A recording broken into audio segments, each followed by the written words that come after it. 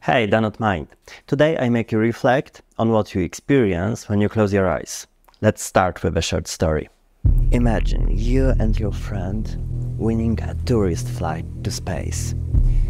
You embark onto the spacecraft and take your seats. The countdown began. Liftoff will start in T minus 10 seconds. 10, 9. You look on your smiling friend.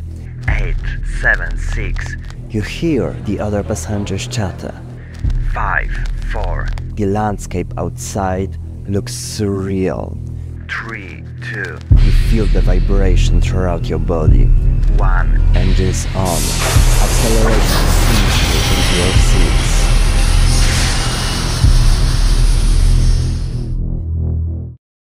And what did you experience? Whoa, I've been there. I saw everything. Felt the engines and acceleration. I experienced the story, but nothing else. Seen nothing, felt nothing, been nowhere. These two examples are the extremes of imagery spectrum. Of course, most people are somewhere in between. So, you say that seeing something with your closed eyes is not an expression? That you really see something? Oh, I see a lot, sometimes so realistic that I'm not sure whether I imagined it or it actually happened. Scientists have studied aphantasia for about 15 years. Most questions remains open, but we have some answers already. Firstly, aphantasia does not mean lack of imagination altogether. Usually it means incapacity for visual imagery, albeit often combined with different modalities and sometimes with incapacity to recognize faces, known as prosopagnosia. According to various estimations, a few percent of people are on either extreme of the visual imagery spectrum. People with aphantasia and hyperphantasia are among us. For some people, it is a lifelong condition, while others acquire it in various circumstances, such as traumatic brain injury or medical procedures. Aphantasia is a fascinating window to recognize subjectivity of experience. For example, about half of people with aphantasia have visual dreams. This highlights the difference between voluntary and involuntary mental Im imagination. Surprisingly, I did not find any studies linking aphantasia and hyperphantasia with lucid dreaming. So how can you know if you have aphantasia? The usual test for aphantasia is a subjective questionnaire akin to the intro story. In addition, scientists developed a more objective test known as binocular rivalry. The binocular rivalry test is an optical illusion where each eye receives a different image. Usually, the experience of image alternates back and forth every few seconds. One image is experienced, the other one is suppressed. You can make one picture more likely to be dominant by asking people to imagine it. And you guessed it, people with aphantasia show weaker priming with imagination. You can try something similar right now.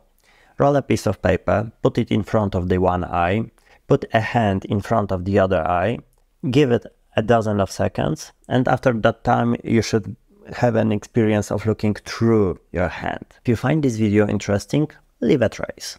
Every like and subscription means a lot to me. Visual imagery in the brain. Our brains process mostly vision. When you see something, a cascade of information processing starts on the retina, goes through thalamus, primary visual cortex, and then to dorsal and ventral stream of visual information processing. According to recent publications, when people with hyperphantasia imagine something, their anterior parietal cortex becomes active. In specific areas around inferior parietal lobule, intraparietal sulcus, and supramarginal gyrus are active. However, these areas differ from areas in the posterior part of the brain identified in a different study. Furthermore, these studies are somewhat inconsistent with a study of vividness of imagined events associated with a subnetwork of default mode network centered around medial temporal lobe. Small sample sizes or screening methods could be the reasons. In any case, these lines of research should eventually converge. Hyperphantasia should not be confused with synesthesia.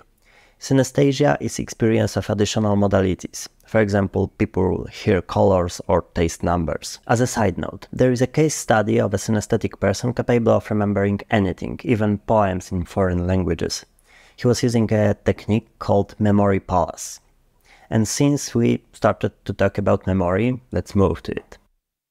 Aphantasia and hyperphantasia have been related to the memory of past events.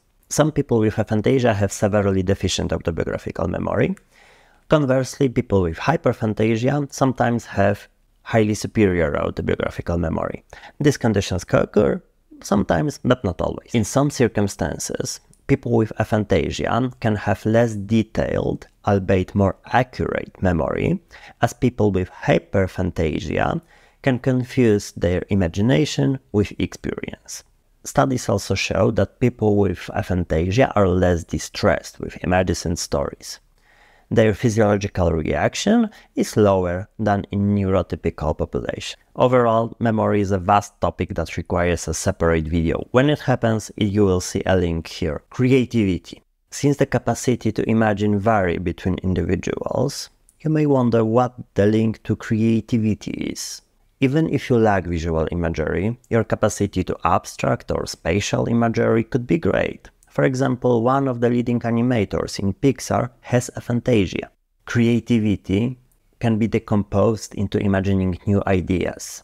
Anecdotal evidence suggests that people with aphantasia can intensely focus on one thing, contrary to people with hyperphantasia, who tend to be distracted with the richness of their imagined experience. What does it mean, aphantasia? Phantasia and hyperphantasia show that we understand the same words differently. Seeing something in imagination means different experience depending on the person. Sometimes people live many years before they realize that their experience is unique. Now that you know about the richness of mental imagery, you should watch a video about learning, once I make it. If you see it here, cool. If no, check out later. Cheers!